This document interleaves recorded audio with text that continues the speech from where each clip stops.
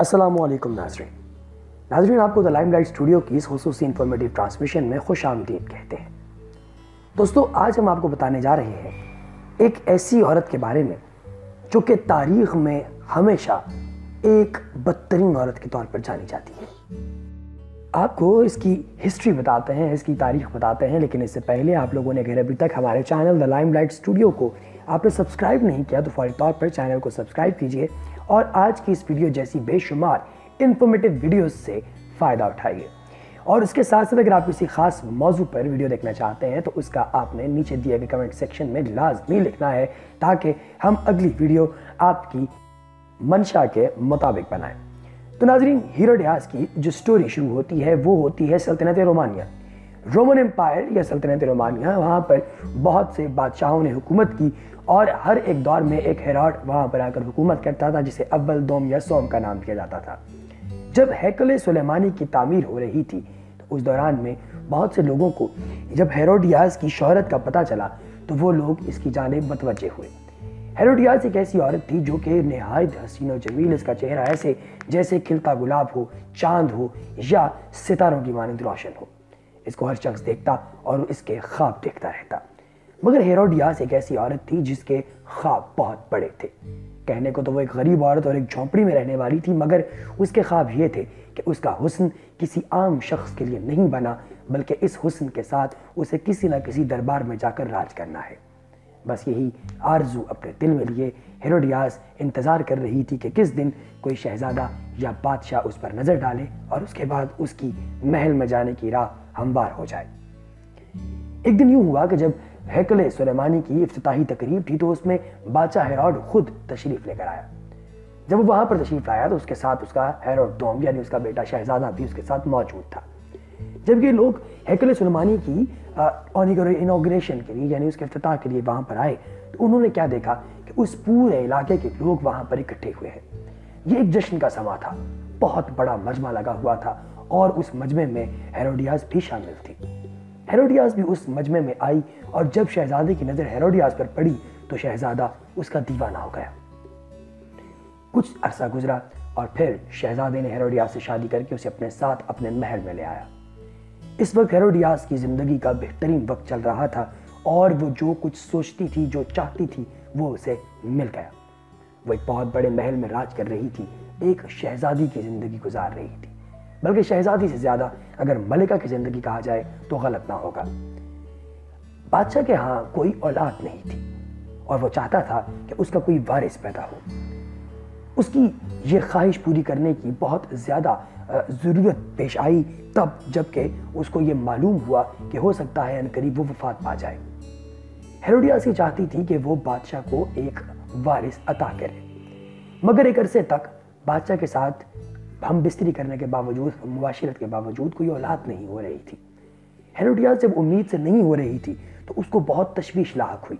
اس نے اپنی محل کی تمام کنیزوں کو پاس بلایا اور ان سے مشورہ طلب کیا۔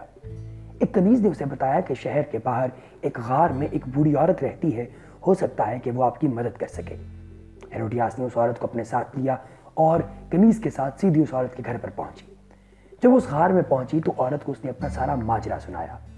عورت نے یہ ساری بات سن کر کہا کہ تجھے اولاد ضرور ہوگی اور ایسی اولاد ملے گی جو کہ بہت زیادہ مشہور ہوگی اور رہتی دنیا تک اس کا نام لوگ سنتے رہیں گے۔ ہیروڈیاس بہت زیادہ خوش ہوئی۔ وہ یہ جان چکی تھی کہ اب فلپس کے ساتھ اس کے تعلقات مزید مضبوط ہوں گے اور محل پر ہمیشہ راج اسی کا رہے گا۔ مگر اس سے پہلے کہ اس کی خوشی اپنی پورے جوش کو پہنچتی، اپنی پوری پیک کو پہنچتی ایک اور بری بات جو اس بری اماں نے کی، وہ ایسی اس کے کانوں پر گزری، گراں گزری کہ ہیروڈیاس کی ساری خوشیاں نیست و نابود ہو گئی اس بری اماں نے یہ کہا کہ تمہارے ہاں اولاد تو ضرور ہوگی، مگر وہ اولاد کسی اچھی وجہ سے نہیں، بلکہ اپنی بدنامی کی وجہ سے پوری دنیا میں مشہور ہوگی۔ یہ سن کر وہ حواس پاختہ ہو گئی اور وہاں سے اپنی کنیز کو ساتھ لے کر محل میں واپس چلی آئی۔ کچھ دن گزرے تو ہیروڈیاز امید سے ہو گئی۔ اس کے بعد جب اس کے ہاں اولاد ہوئی تو وہ ایک لڑکی پیدا ہوئی اور اس لڑکی کا نام سالومی رکھا گیا۔ فلپس سالومی کی پیدائش پر بہت زیادہ خوش نہیں تھا کیونکہ وہ ایک وارث چاہتا تھا اور عورت تو وارث نہیں بن سکتی تھی۔ بس، پھر اس کے بعد کیا تھا؟ وہ دن گزرا اور محل میں ہیروڈیاس کی اہمیت بہت کم رہ گئی۔ چونکہ شہزادہ فلپس اس کو ایک لڑکا چاہیے تھا اور ہیروڈیاس اس کو لڑکا نہیں دے پائی تھی اس لیے محل میں اب ہیروڈیاس کی بہت زیادہ اہمیت برقرار نہیں تھی۔ لوگ اس کی باتوں کو بہت زیادہ سیریس نہیں لیتے تھے۔ چند ہی دن گزرے ہوں گے کہ وہاں کا ہیروڈ جو کہ سلطنت کا امیر تھا، سلطنت کا بادشاہ تھا، وہ مر گیا اور اس کی ساری سلطنت اس کے تین بیٹوں میں تقسیم ہو گئی۔ اس میں سب سے چھوٹا حصہ جو ہے وہ ہیراڈ فلپ کے حصے آیا اور سلطنت کا سب سے بڑا حصہ ہیراڈ اینٹی پاک کے حصے میں آیا۔ ان دونوں کی ملاقات یعنی کہ ہیراڈیاس اور ہیراڈ اینٹی پاک کی جو ملاقات ہے، وہ ہیراڈ اعظم کی تدفین کے موقع پر ہوئی۔ دن گزرتے گئے اور ہیروڈیاس نے اینٹی پاک کو اپنی چنگل میں پھنسانے کے لیے ایک بہت بڑا پلان تیار کیا، ایک سازش تیار کی۔ اور ہوا یوں کہ چونکہ اینٹی پاک خود بھی ایک بڑے مضبوط جسم کا حامل نوجوان تھا، جب اس نے پہلی دفعہ اس قدر خوبصورت اس کو دیکھا ہیروڈیاس کو دیکھا، تو وہ اس کے محبت میں گر گیا، وہ اس کی چاہت میں بالکل دیوانہ وار پاگل ہو گیا۔ اور وہ چاہتا تھا کہ اس کی شادی اینٹی پاک جو ہے، اس کی شادی ہیروڈیاس سے ہو جائے۔ مگر ہیروڈیاس کی اس سے شادی نہیں ہو سکتی تھی، اس کی وجہ یہ تھی کہ وہ فلپ کی بیوی تھی۔ چند دن گزرے ہوں گے تو ایک بہت بڑی دعوت کیا اہتمام کیا گیا اور اس دعوت میں پوری رومانیہ سلطنت کو بلایا گیا۔ جب ان سب کو مدعو کیا گیا تو اس دوران ان کی محبت کو اور شہ ملی اور انٹی پاک اور ہیروڈیاس نے ایک دوسرے کے ساتھ قسم کھائی کہ ایک دوسرے کے ساتھ رہیں گے۔ پھر چند دنوں بعد وہ موقع دیکھ کر وہاں سے بھاگ نکلے۔ ان کے بھاگنے کی وجہ سے ان دونوں شہزادوں کے درمیان بہت سی جنگیں لڑی گئیں اور جنگیں لڑنے کے بعد جب یہ معاملہ ختم ہوا تو پھر اس کے بعد اینٹی پاک کے حصے میں ہیروڈیاس آئی اور سلطنت کے کچھ حصے جو ہیں، وہ اس کے پہلے شوہر یعنی اس کے سابقہ شوہر کے حصے میں دے دیے گئے اور پھر اس کے بعد اس سلطنت میں سکون آیا۔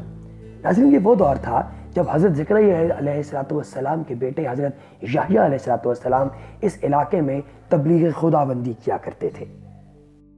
لوگ انہیں بہت سے کرسچن جو لوگ ہیں وہ انہیں یوہنہ کے نام سے بھی جانتے ہیں۔ آپ اس دور میں حق بات کہنے سے ہرگز نہیں کتراتے رہے، جبکہ اس دور کے تمام جو مذہبی رہنما ہیں، جو پیشوا ہیں، وہ لوگ حقیقت بات کہنے سے بہت گھبراتے تھے اور بادشاہوں سے ڈرتے تھے۔ وہ رومانوی سلطنت کے پٹھو ہوا کرتے تھے۔ حضرت یحییٰ علیہ السلام نے کھلے الفاظ میں اس چیز کی بہت زیادہ مخالفت کی کہ ایک بھائی یعنی کہ فلپس کی بیوی کے ساتھ اس کے دوسرے بھائی یعنی کہ اینٹی پاک نے شادی کر لی ہے اور اب کی بیوی کے ساتھ شادی کرنا ایک نہایت نازیبہ حرکت ہے۔ اینٹی پاک نے تو ان کی اس بات کی جانب زیادہ توجہ نہ دی، مگر ہیروڈیاس کو یہ بات بہت گراں گزری اور اس نے آپ کو گرفتار کروا کر آپ علیہ السلام کو اپنے محل کے تمام پودوں کی سیرابی پر مقرر کروا دیا۔ شہزادی بھی، جو کہ سیلومی جس کا نام تھا، اس کی ماں ہیروڈیاس نے بہت زیادہ کوشش کی کہ بادشاہ یعنی کہ انٹی پاک، حضرت یحییٰ علیہ السلام کے قتل کا فرمان جاری کرے، مگر شہزادہ اینٹی پاک اس بات پر ہرگز تیار نہ تھا۔ کچھ دن گزرے ہوں گے کہ ان دنوں کے گزرتے ہی شہزادے کو اس چیز کا احساس ہو گیا کہ یہ انتقام چاہتی ہے۔ مگر چونکہ اس کے اوپر کوئی زیادہ کام نہ ہو سکا، اس لیے پھر ہیروڈیاس نے خاموشی اختیار کر ہیروڈیاس کی بیٹی سلومی، جس کی خوبصورتی نے اپنی ماں کو بہت پیچھے چھوڑ رکھا تھا، وہ بہت زیادہ حسین تھی۔ اس قدر حسین کہ اس دور کے بہت بڑے بڑے شہزادے اور اس دور کے بادشاہان اس کا خواب دیکھا کرتے تھے۔ ایک دن وہ اپنی بالکونی میں کھڑی نیچے باغ میں حضرت یحییٰ علیہ السلام کو دیکھ رہی تھی۔ حضرت یحییٰ علیہ السلام چونکہ اللہ تبارک و تعالیٰ کے پاک پیمبر تھے۔ آپ کے چہرے پر قدرتی نور تھا اور ایک ایسی معصومیت تھی جس پر شہزادی سلومی دائیں ہو گئی جب وہ اس قدر آپ پر جو ہے، قربان ہونے لگی اور اس کا آپ کے اوپر اتنا زیادہ حسن اور اتنی زیادہ اپنی نٹ کھٹ کے باوجود ان کے اوپر اتنی زیادہ محبت کی برسات وہ کرنے لگی کہ ان کو اپنے دربار میں بلا کر دعوت گناہ دی۔ جبکہ حضرت یحییٰ علیہ السلام نے ترکی بترکی جواب دیا کہ میں تجھ جیسی عورت کو دیکھنا بھی پسند نہیں کرتا، میں تمہیں دیکھنے کو گناہ سمجھتا ہوں۔ شہزادی سلومی، جس کو اپنے حسن پر بہت زیادہ ناز تھا، وہ ایک قیدی کے ہاتھوں ٹھکرائی گئی، لہٰذا اس کے بدن میں انتقام کی آگ نے جنم لیا۔ دن گزرتے گئے اور بادشاہ انٹی پاک کی سالگرہ کا دن آ گیا۔ پوری سلطنت سے تمام بڑے بڑے رئیس تمام سیٹ، تمام سردار بادشاہ کے محل میں جمع ہوئے اور محل میں جمع ہو کر انہوں نے بادشاہ کے قدموں میں بے تحاشا تحفوں کے ڈھیر لگا دیے۔ ہر تحفہ دوسرے تحفے سے بڑھ کر تھا، مگر بادشاہ ان تمام تحفوں میں ڈیسائیڈ نہ کر سکا کہ کون سا تحفہ سب سے عظیم ہے، کہ اتنے میں ہیروڈیاس ان کے سامنے حاضر ہوئی۔ اور بادشاہ سے کہنے لگی کہ میرا تحفہ آج ان تمام تحفوں پر باری ہے اور بہت ہی زیادہ دلکش اور حسین ہوگا، کیونکہ آج میری بیٹی آپ کے اعزاز میں رقص کرے گی۔ یہ ایک ایسا رقص تھا جس کے لیے ہیروڈیاس نے سلومی کو بہت سالوں سے تیار کرنا شروع کر دیا تھا۔ سلومی وہاں دربار میں جب آئی تو اس نے سات رنگوں کے سات مختلف کپڑے اوپر نیچے زیب تن کیے تھے۔ اور پھر اس نے جب رقص شروع کیا تو ایک ایک کر کے یہ سارے کپڑے اتار دیے۔ دربار میں موجود کوئی بھی شخص اپنی آنکھیں نہ جھپک سکا اور کئی گھنٹے چلنے والے اس رقص کا ایک ایک لہجہ ہر ایک شخص نے بہت زیادہ دلچسپی سے دیکھا۔ جب یہ رقص مکمل ہوا تو بادشاہ بہت زیادہ خوش ہوا اور اس نے اس سے کہا کہ بتاؤ کیا مانگتی ہو؟ جس پر آگے سے جواب دیا سیلومی نے کہ میں حضرت یحییٰ علیہ السلام کا سر چاہتی ہوں۔ بادشاہ نہ چاہتے ہوئے بھی قتل کا فرمان جاری کرنے پر مجبور ہو گیا کیونکہ وہ سرے بازار اس چیز کا دعویٰ کر چکا تھا، اس کا وعدہ کر چکا تھا۔ اس واقعے کے کچھ ہی دن بعد حضرت یحییٰ علیہ السلام کو شہید کر دیا گیا۔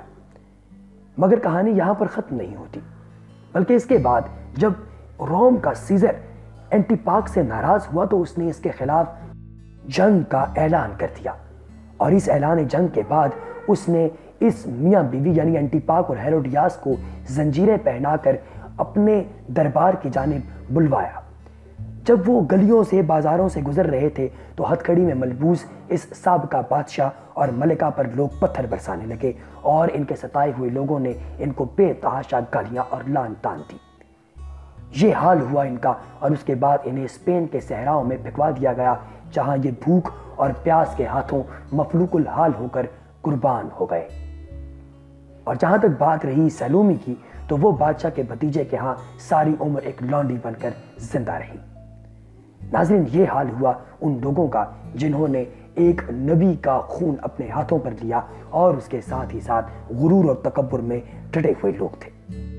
ان لوگوں کی زندگی ہمیں اس چیز کا سبق دیتی ہے کہ ہم خود کو خدا کے فیصلوں کے سامنے سر تسلیم خم کر کے آجزانہ زندگی گزاریں۔ اس کے ساتھ ہی ناظرین، ہماری آج کی ویڈیو ختم ہوتی ہے۔ آپ سے ملاقات ہوگی انشاءاللہ اگلی ویڈیو میں۔ تب تک کے لیے ہمیں اجازت دیجیے اس ویڈیو کو شیئر کرنا ہرگز نہ بھولیے گا۔ لائک کرنا ہرگز نہ بھولیے گا اور چینل کو سبسکرائب کرنا ہرگز نہ بھولیے گا اور اگر آپ نے اس ویڈیو کے حوالے سے یا ہمارے چینل کے حوالے سے اپنا فیڈ بیک دینا ہے تو کمنٹ سیکشن میں ضرور تحریر کیجیے۔ السلام علیکم۔